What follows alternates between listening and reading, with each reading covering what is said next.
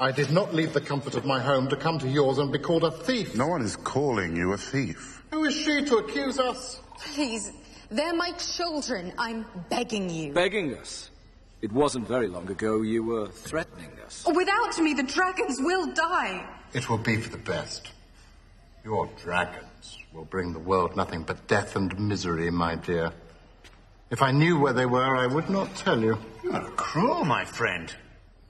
The Mother of Dragons is in the right.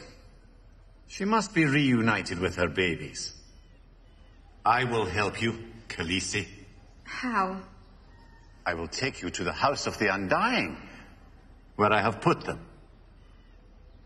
You have my dragons. When I learned you were coming to our city, I made an arrangement with the King of Qarth. he procured them for me. But there is no king of Qarth. There is now. That was the other half of the arrangement. You would keep your gates and your minds closed to everything outside your walls. But Qarth cannot remain the greatest city that ever was if it refuses to change. I will open Qarth to the world, as I have forced it to open itself to me. Your ambition is an inspiration. But like all upstarts, you overreach.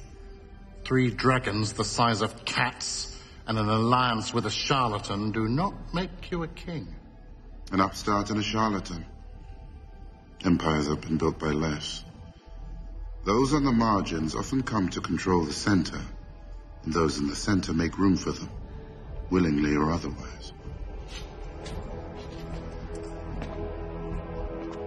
The Mother of Dragons will be with her babies.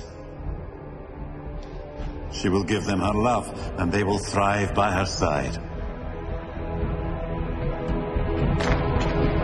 Forever.